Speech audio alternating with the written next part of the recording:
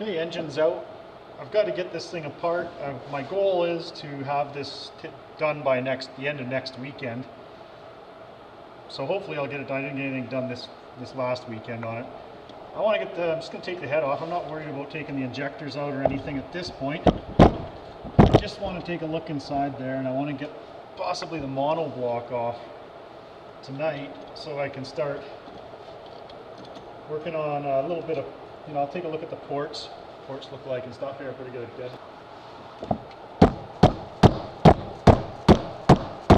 There we go. A little bit of coolant laying around in there yet. Doesn't look bad. I have the plugs out already.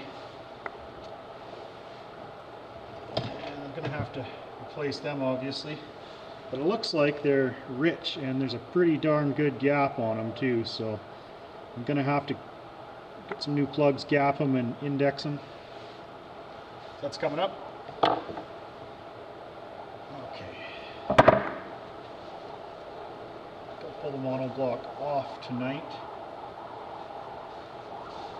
Give it a good inspection. C- Cylinder on this side looks pretty good. Uh, I don't have a I don't have a good light out here. Yeah. Anyway, there's no scoring or anything in that in that one.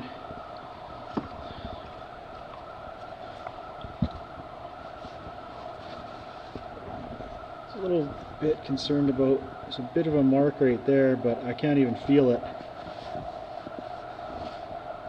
So see if it polishes out. All I'm going to do for the bores is use some uh, green Scotch Brite. I don't see anything else so far of concern.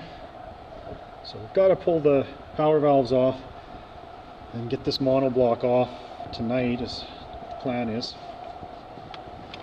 Not overly concerned about the injectors. Let me know in the comments what you think. 4,600 kilometers, so maybe I don't, I don't think they're ready for a rebuild. Maybe I should just clean them up with some injector cleaner or something. Uh, this definitely has more carbon in this side, so that would be the uh, the PTO side. Got some carbon buildup, so I'll be cleaning up the chambers really good. This side is just a little softer. Yeah, and it's not a ton. And already, uh, see, scrape right through it. Okay. Not too, too bad. Things aren't looking bad so far. It's too bad I don't have my light out here, I forgot that. But I'm sure you'll get lots of opportunity to see what it looks like in there. See, that's about the only thing kind of concerns me is there's a little mark right there, but I don't think it's through the Nikasil. So I think we're good. As far as uh, as wear on the cylinders is, is concerned, I don't see any chips in it so far. We'll get it off and see what it looks like. It's actually stuck down fairly good, so I just had to wrap it a bit, dead blow, and then just with a screwdriver. That. Tap it, be gentle, and let's see what everything looks like in here. Okay, the monoblock. The bores look good. No chipping. And It's not the, the Nikasil's not worn through, so that's good news because that's a pretty big bill. If you have to start sending that away or getting an exchange monoblock. And pretty minor scuffing on the pistons. I'll just clean them up here and I'll show you. Still some of the coating left, the anti-scuff coating on the pistons. Uh, exhaust side looks really good. Yeah, okay, let's have a look. So there's the PTO side. Doesn't look like they were really heated up. See a little bit of scuffing right there. I can just feel it just barely with my fingernail. Definitely minor. Oh, Let's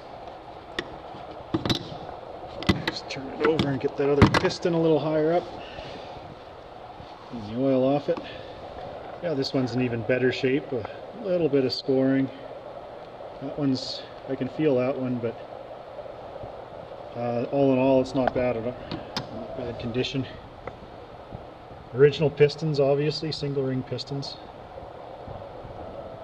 Maybe I should have done a compression check on it just to find out, but uh, at this point, the pistons look good. Bit of carbon on the top, uh, not much for wash, but then not being a carbureted snowmobile, of course, your pistons are going to read different anyway. Okay, so that's where I'm at with this. I'm going to be pulling off the uh, stator, the flywheel and the stator I'll pull off probably tomorrow afternoon. Tonight I'm probably going to try and get back out here and uh, I'll get back out here and take the take the power valves out. They'll I'll clean them up while they're out, of course. And I want to get this monoblock cleaned up a little. Take a look at, get a good look at kind of condition it's in. Uh, take a look at the ports. I'll probably polish them up. At the very minimum, polish them. I'm not too sure how much material will be taken out of them. But anyways, it'll be a fun project all the same. Polish up the exhaust ports and that. Get the head cleaned up. Uh, I better get some plugs coming for it. So yeah, a few things. But like I say, by next weekend I'm going to be putting in the rebuilt crankshaft. I'll probably weld the pin on the mag si uh, PTO side, pardon me.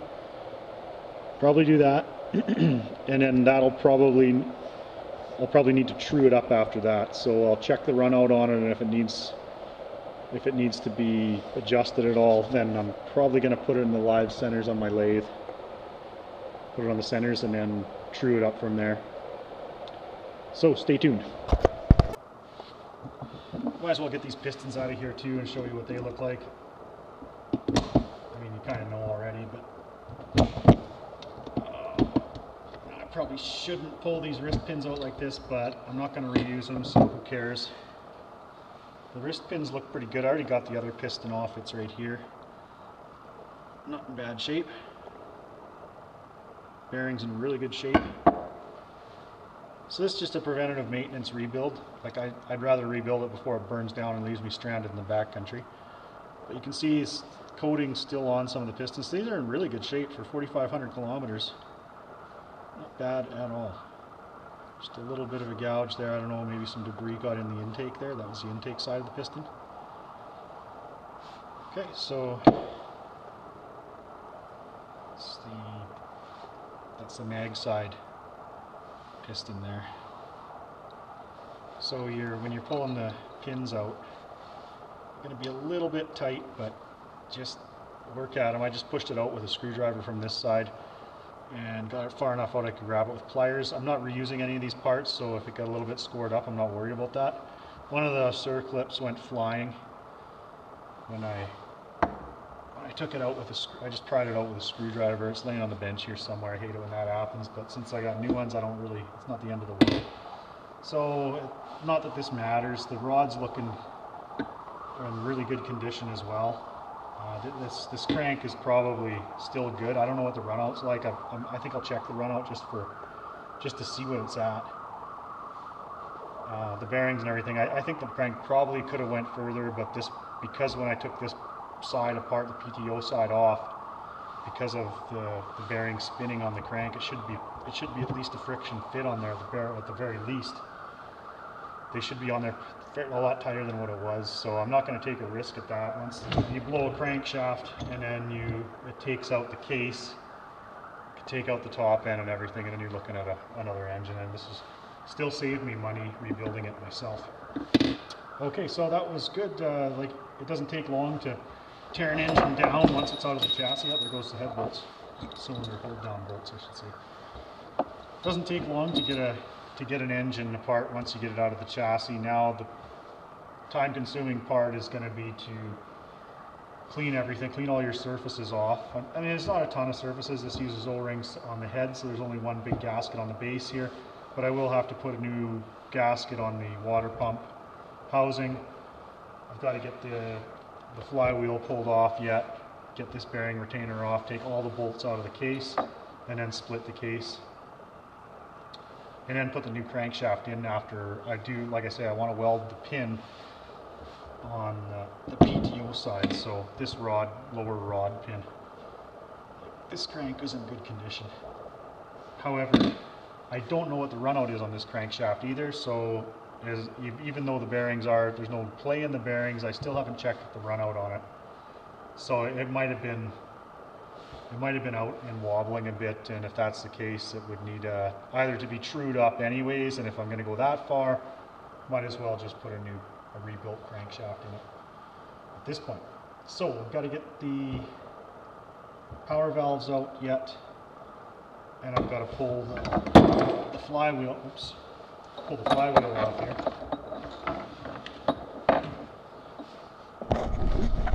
Probably not gonna get at that yet tonight. But it is, that is gonna be one of the next steps is pull off the flywheel, pull off the flywheel housing. All these parts I'm gonna, oh, there's a lot of stuff in there. Maybe from the recoil, I don't know what that black dust is. I'll probably be taking this stuff down and cleaning it up. All of it will, wa- I'll wash it all off and make sure that there's not a bunch of grime and everything on it so it looks nice and then be going back together. Hopefully by hopefully by this weekend, early weekend, Saturday morning, I'll be going back together with this. Now I'm going to take these power valves out. So we got two 8 mil bolts here they have to come out. Then two 15 millimeter nuts. Got the one off this side. This one I've almost got out. Oh, a bit of Loctite on there. Those out then. Pop this kind of bridge piece off with your actuator there. There we got a few of these out. Then you got, uh, I think this is another T25 Torx here. T30 Torx. Or an 8 millimeter socket. Got uh, two in each RAVE valve there, and then they just come out. So these ones are look pretty clean. Oops. Yeah, so uh, those, as you can see, fall out. A little bit of wear, but for the most part, they're pretty clean. I'll be cleaning these anyways.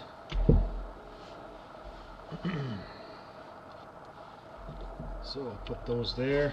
Try and make sure everything goes in the same spot when you put, go back together again. All your remaining surfaces are going to be the same. And here's the other side, so I'm just going to hold on to those, keep together. Doesn't look that bad. Oily, bit of carbon. So, there. The reason why I wanted to get those apart tonight is I'm going to take this monoblock down to work and I'm going to be cleaning it up, so I'll take you with me on that. Uh, first, just need to do a really good cleaning on it. And then I'm going to do a little bit of port work and stuff. Get these gaskets cleaned up.